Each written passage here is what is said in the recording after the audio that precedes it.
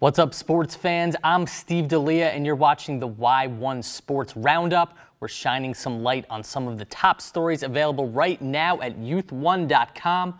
Stay tuned. This is just a preview of what we do. And today we've got a big baseball preview for this weekend. It's the Big League Dreams season opener in Perris, California, where some of Cali's best clubs will be competing, including the California Lookouts and San Diego Show. Another team looking to get their season off right is the San Diego Dukes. So head on over to youth1.com, read all about them today, and find out what's going on on the West Coast on the Diamond. Also on deck today, we've got a preview of the Kinnelon 14U Extreme Softball Tournament in Kinnelon, New Jersey. It's a special event taking place this weekend, and Youth One will be there on site with photos, interviews, recaps, and more. If you're going to the tournament, drop by the table and say what's up. Until then, get all your details at youth1.com.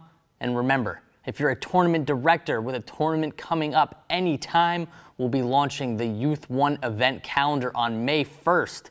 Get your tournament seen by the youth sports most dedicated audience and promote your event the right way with the right people. Send an email to calendar at youth1.com to find out how to get your event on the board.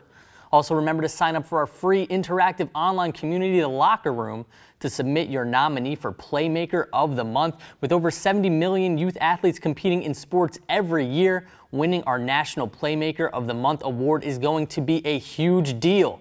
So make sure your candidate has a chance to receive this honor, and let's have some fun celebrating democracy and the best of youth sports together.